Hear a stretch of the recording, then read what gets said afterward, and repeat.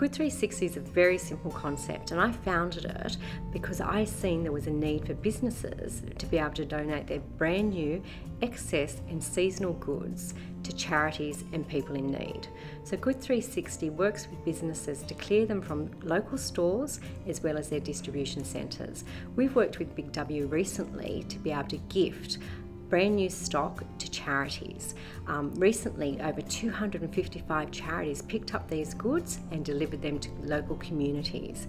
Pyjama Foundation was one of these charities, and through this work, they've been able to help the children in their foster care and the carers with these beautiful brand new goods. Goods including toys and clothes, as well as household and electrical goods. My name is Bronwyn Sheehan, and I'm the founder and the CEO of the Pyjama Foundation. So, the Pyjama Foundation supports the children in the foster care system. We screen, recruit, and train volunteers. Our volunteers are called Pyjama Angels, and we match up a Pyjama Angel with a child in care.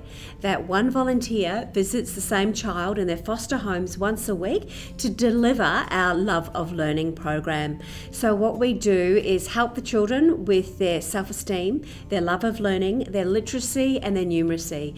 We really want to empower them with education so we can change the direction of their life. The kids in foster care are the lowest educational pools of kids in Australia. So we want to boost their learning and we want them to have um, fulfilling and successful lives. I've been a member of Good 360 for the last three years.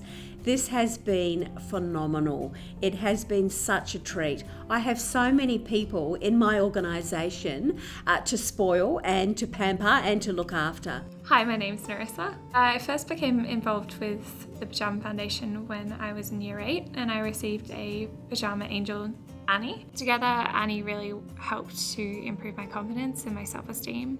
It really grew, and I managed to graduate high school because of her and then go on to university. One day I went into the Pyjama Foundation to see Bronwyn and uh, she invited me to come look at a range of different things that they'd gotten from a Good 360 and um, I was able to go through those and pick out a lot of household items. I also got some stationery things, I'm a student so uh, to get new books and um, some pens and just all of that sorted. And just different things, different items like that um, was fantastic and really helped me out. There's so much variety and perfect stock that you could really use in your organisation. I would highly recommend working with Good 360 and coming on board this amazing program. Corporates, if you have excess goods, contact Good 360 and we will help connect those to charities here in Australia to help more Australians. Charities, if you need access to these brand new goods, please contact Good 360 and we will make sure that we can help you expand your programs and save money.